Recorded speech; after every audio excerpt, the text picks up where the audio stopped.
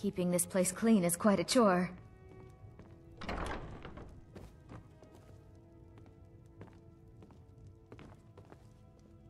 This is High Hrothgar, our temple, sanctuary, and home.